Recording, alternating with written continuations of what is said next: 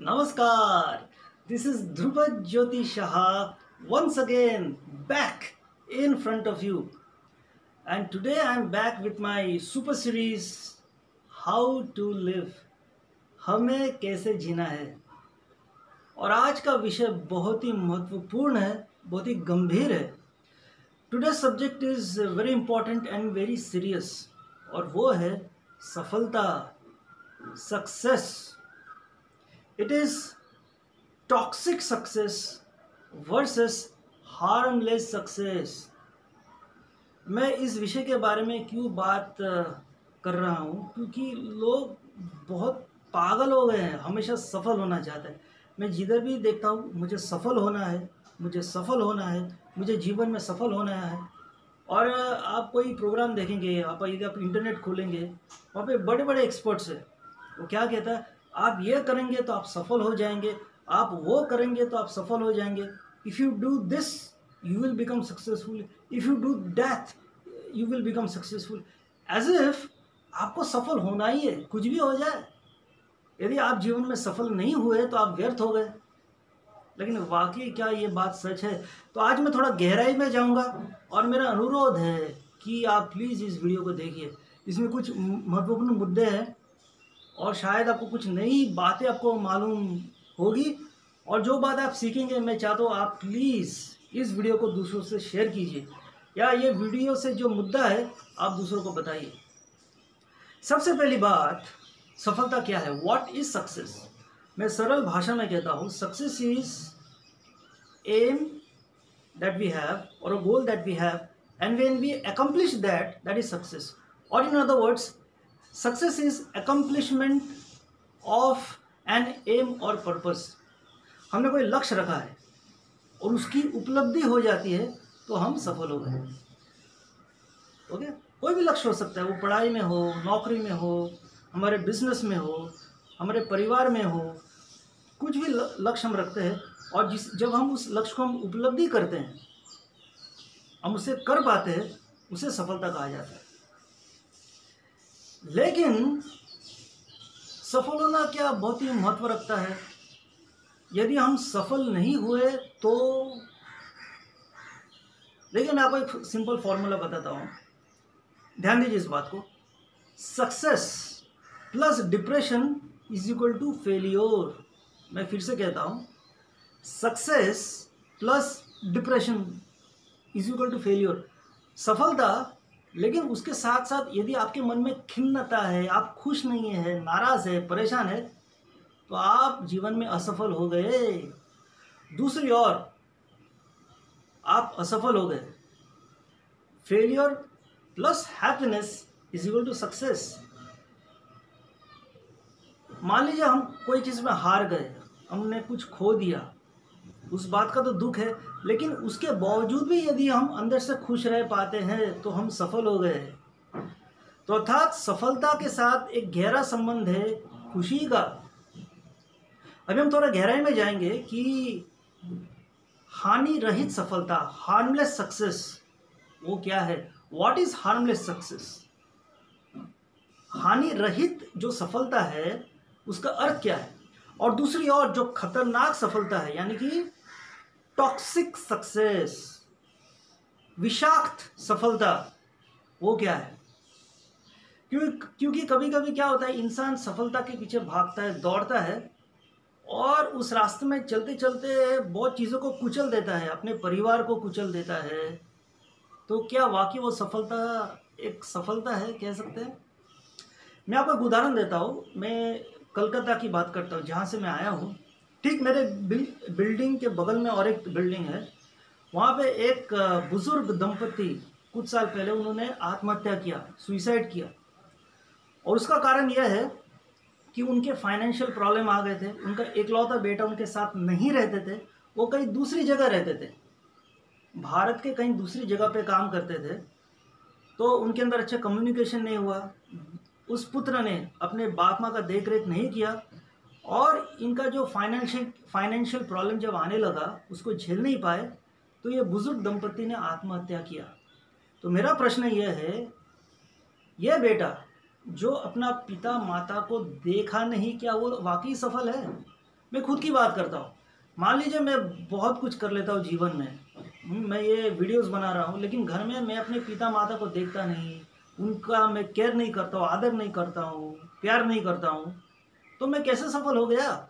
English में कहावत है चैरिटी बिगिनस एट होम अगर कुछ बड़े बड़े काम करना है, घर से ही शुरू करता है। जो घर में जो अपने हैं, मेरे घर में माता है, पिता है, उनको मैं देखता नहीं, उनके बारे में परवाह नहीं करता। और यहाँ मैं चला भाषण देने, कुछ फ़ायदा नहीं है। तो हम असफल होके भी हम असफल हैं। ठीक है, एक मुद्दा है। और थोड़ा गहरे में जाते हैं। क्या हम जब हम जीवन में सफल हो गए, हमने बहुत धन कमा लिया, दौलत कमा लिया, हम प्रसिद्ध भी हो गए, लोग हमें जानते हैं। लेकिन हमारे दुनिया भर में काफ़ी सारी समस्या है। उस समस्या के साथ यदि हम अपनी सफलता की तुलना करें, तभी हम सोचेंगे क्या हम वाकई सफल हैं।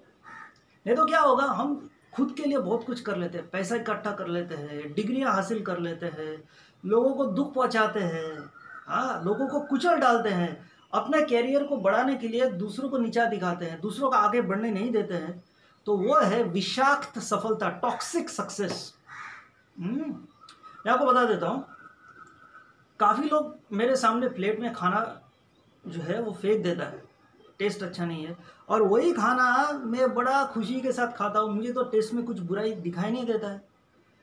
मैं सच कह रहा हूँ मेरे घर में मेरी माँ जो भी खाना बना के देती है जो भी मैं खुशी से खा लेता हूँ। मेरी माँ पूछती है, क्या बनाऊँ? मैं, मेरी माँ से कहता हूँ कि, माँ, आपको जो आसान लगता है वो बनाइए, मैं खा लेता हूँ खुशी से। ये हमारा फैमिली कल्चर है कि हमारा घर में जो भी पकता है, पकाते हैं, हम खुशी से खा लेते हैं। हम ये भी नहीं सोचते टेस्ट कैसा है। पेट भर गया ना तो टेस्ट की परवाह नहीं। आपको मालूम है खाने की बात करता हूँ हमारे देश में। हर साल भारत में हमारे इस देश में 670 लाख टन खाना नष्ट होता है। 67 million tons of food are wasted in India each year too bad मुझे बहुत बुरा लगता है क्योंकि मैं खाना नहीं फेंकता हूँ। क्या आप जानते हैं कि हर 10 सेकंड में ध्यान दीजिए, एक, दो, तीन, चार, पाँच छः सात, आठ, नौ, दस, ये दस सेकेंड हो गया ना? दस सेकेंड में पूरा दुनिया में एक बच्चा मर जाता है क्योंकि उसको भूख के कारण या अपौष्टिकता के कारण मर जाता है। तो यदि आप अपना प्लेट में खाना फेंक रहे हैं, ज़रा सोचिए, उस खाना के न मिलने की वजह से बच्चा मरता है। हर दस सेकेंड में। हो सकता है हमारे जेब में बहुत सारे पैसे हैं, बहुत पैसा है। तो क्या हम प्लेट में खाना फेंक सकते हैं? कुछ लोग ब्रेड खाते हैं ना ब्रेड ब्रेड का कोना फेंक देते हैं। अरे क्या भाई ब्रेड पूरा खाना है कोना हो अंदर हो बाहर हो? क्या हम साबित करना चाहते हैं? हमारे पास बहुत कुछ है हम बहुत सफल हो गए हैं कि हम सच में खाना को फेंक सकते हैं। सोचने वाली बात है। अगर ये सफलता है ना मैं इस सफलता को कहूँगा टॉक्सिक सक्सेस विषाक्त सफलता. क्योंकि हम खुद तो सफल हो गए लेकिन हमें दूसरों की परवाह नहीं। आज हमारे देश में बहुत गरीबी है। क्या आप जानते हैं हमारे देश में दस करोड़ से अधिक लोग पॉवर्टी लाइन के नीचे है, दरिद्र है। दस करोड़ से अधिक लोग दरिद्र है। लेकिन इसी देश में मैं अभी फिगर बताता हूँ, आप चौक जाएँगे। डिफेंस के लिए मिलिट्री के लिए कितना खर्चा होता है आपको मालूम है? भारतवर्ष में चार खरब, अरब नहीं, चार खरब, यानी कि चार के बाद बारह शून्य जोड़िए।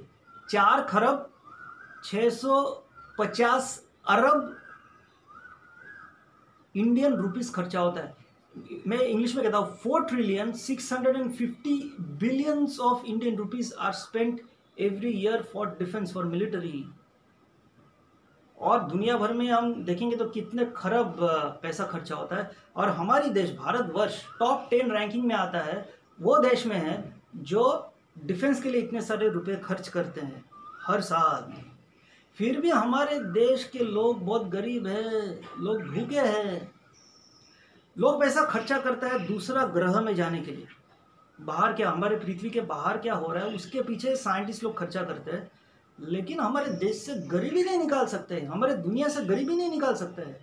हर दस सेकेंड में एक बच्चा भूख के कारण मरता है। अब हमारी जो सफलता है, हमारे पास जो सर्टिफिकेट है, हम क्लास में फ़र्स्ट आए हैं, हमको इंडिया में रैंक मिला है, हमने कोई मेडल जीत लिया है, हमने वर्ल्ड कप जीत लिया है, क्या मायने रखता है? सोचने वाली बात है। ज़िंदगी की बात करें, हमारे देश में आपको मालूम है कितना अबॉर्शन होता है हर साल?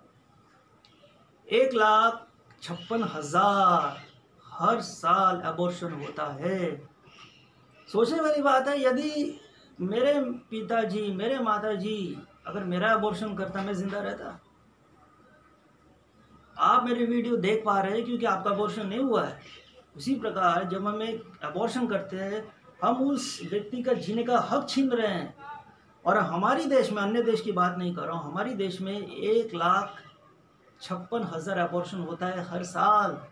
कितना शर्म की बात है। तो हम किस सफलता की बात कर रहे हैं? व्यक्तिगत सफलता हो सकता है।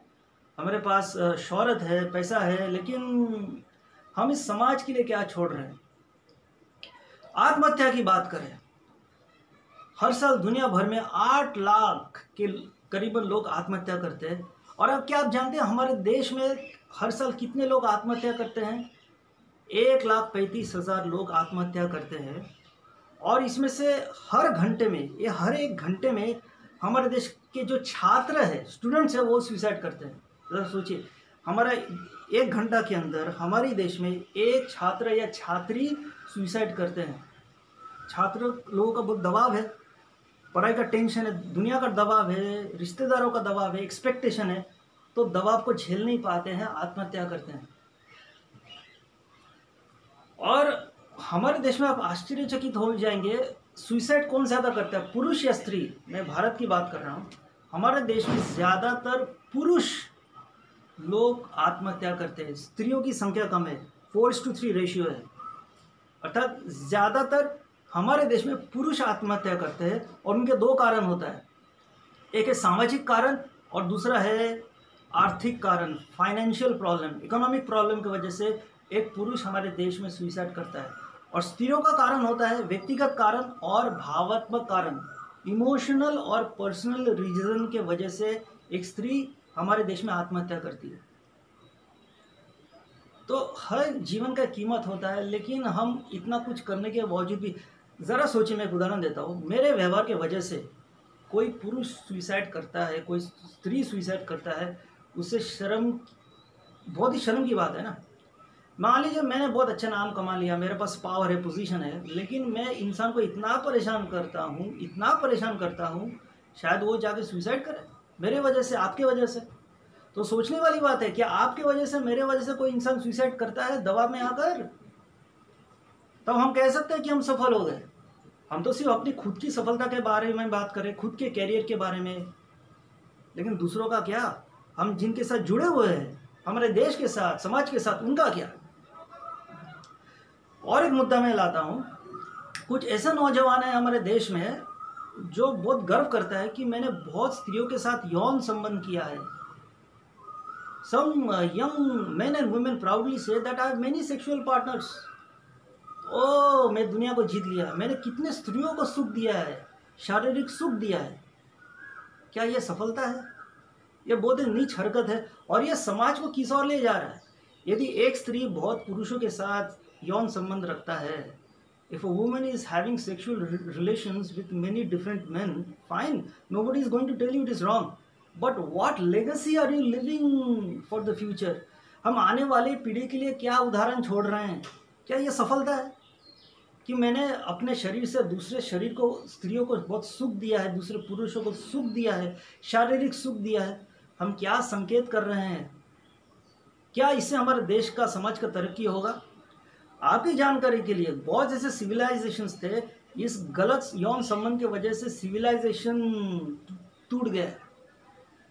तो हम जो करते हैं, हम सोचते ये प्रभावित नहीं करता है। नहीं, ये समाज को प्रभावित करता है। आपसे दूसरे लोग सीखेंगे। अगर मैं कुछ अच्छा उदाहरण रखता हूँ, आने वाला पीढ़ी अच्छा चीज़ सीखेंगे। तो ये जो है ना, ये यौन संबंध अलग अलग लोगों के साथ संबंध रखना, ये सफलता को मैं कहता हूँ टॉक्सिक सक्सेस विषाक्त सफलता। सफलता तो है, लेकिन ये विषाक्त है समाज के लिए, इस दुनिया के लिए। लेकिन हानि रहित सफलता वो है जिसे समाज का कल्याण हो, जिसमें किसी का बुरा ही ना हो। उसमें हमारे लिए अच्छा उदाहरण रखा है किसने? ईसा मसीह ने, गौतम बुद्धा ने, मदर टेरेसा ने, स्वामी विवेकानंद ने, doctor A P Abdul Kalam. कोई कह सकता है कि doctor A P J Abdul Kalam कोई युवा बच्चा के लिए खराब उदाहरण रखा है? मैं उनकी बात, में, मेरा जो ये स्पीच अभी मैं समाप्त करने जा रहा हूँ कि doctor A P J Abdul Kalam जिस सफलता के बारे में बात किया, वो क्या है? क्योंकि जिस सफलता में हानि ना हो, असली जो सफलता है, उसमें क्या होता है आपको मालूम है? आध्यात्मिकता होता है, धार्मिकता होता है, नैतिकता होता है जिस सफलता में नैतिकता ना हो, धार्मिकता ना हो, आध्यात्मिकता ना हो, मैं जब आध्यात्मिकता की बात करता हूँ, उसमें चार गुण शामिल है। वो है सहानुभूति कंपैशन सेकेंड विजडम बुद्धि third Namrata humility and fourth is happiness खुशी। एक इंसान खुश ही नहीं है, वो कैसे सफल हो सकता है? इसलिए जो टॉक्सिक सक्सेस में शामिल है ना जो विषाक्त सफलता के रास्ते पे चलते हैं, मैं देखा है, वो लोग बहुत फ्रस्ट्रेशन में रहते हैं। वो मुझे देखकर भी खुश नहीं रहते हैं, मुझे देख के नाराज़ हो जाते हैं, क्योंकि वो अपने खुद के जीवन से खुश नहीं है। उनके पास शायद बहुत पैसा है, शहरत है, लेकिन जब खुशी की बात है इसलिए इंसान का जब कर्म अच्छा होता है, जो doctor A P J Abdul Kalam ने कहा है, जब इंसान धर्म के रास्ते पे चलकर सफलता को हासिल करता है ना वो हानि नहीं पहुंचाता है ना खुद के लिए ना दूसरों के लिए। आइए मैं बताता हूँ डॉक्टर ए पी जे कलाम कलाम की महत्वपूर्ण बात और इस बात को जो जवान लोग हैं मैं बताना चाहता हूँ इस बात को ध्यान दीजिए। उन्होंने कहा where there is righteousness in the heart there is beauty in character where there is beauty in character, there will be harmony in the home. And when there is harmony in the home, there will be order in the nation. And when there is order in the nation, there will be peace in the world. तो देखिए उन्होंने शुरू किया धार्मिकता से और ख़त्म करता है शांति के साथ तो सफलता में क्या होता है असली सफलता जिस सफलता में जहर ना हो वो सफलता में होता है धार्मिकता और शांति इसलिए दोस्तों, मैं यही कहना चाहता हूँ आपसे आखिर में कि यदि आप सफल होना चाहते हैं तो अच्छी बात है, लेकिन अपने आप से पूछिए, मैं जिस सफलता के रास्ते में चल रहा हूँ, क्या वो हानिकारक है या हानि रहित है? क्या वो विषाक्त है या हानि रहित है? यदि हानि रहित है तो बहुत खुशी की बात है, मेरी शुभकामनाएँ आपके साथ है। So thank you for watching this video.